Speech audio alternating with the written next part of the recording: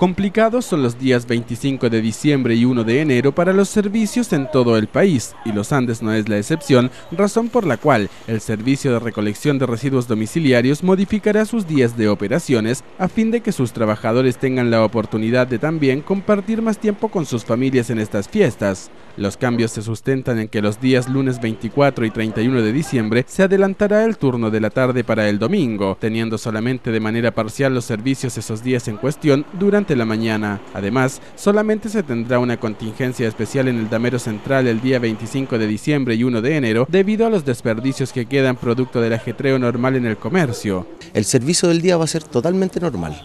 Los sectores que tienen recolección durante la mañana el servicio va a ser totalmente normal y solamente los sectores de la tarde, que parte el servicio a partir de las 6 de la tarde, va a hacer, eh, se van a hacer el día domingo. Estos sectores del, servicio de la tarde tenemos todo el sector de Alto Concagua, Altos del Valle, Bellavista, Cristo Redentor, sector de Ambrosio Higgins, Chile España, Villa Trasandino, el centro,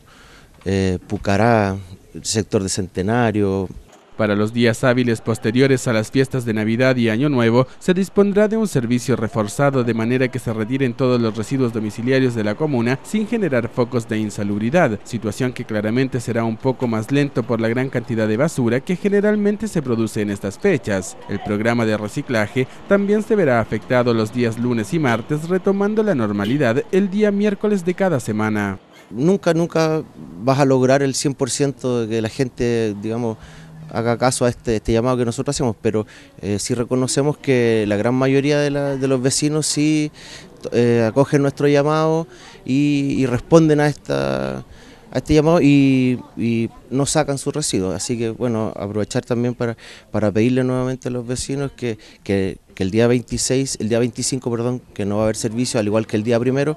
también guarden sus residuos hasta el día siguiente hábil que se va a retomar los servicios normalmente. Un llamado que busca dos cosas. En primer lugar, beneficiar a los trabajadores encargados de la recolección de residuos para que, al igual que todos los andinos, tengan la posibilidad de recibir estas fiestas de fin de año acompañados de sus familias. Y por otro lado, la importancia radica en que este tipo de contingencias no deriven en la generación de microbasurales ni focos de enfermedades en la comuna.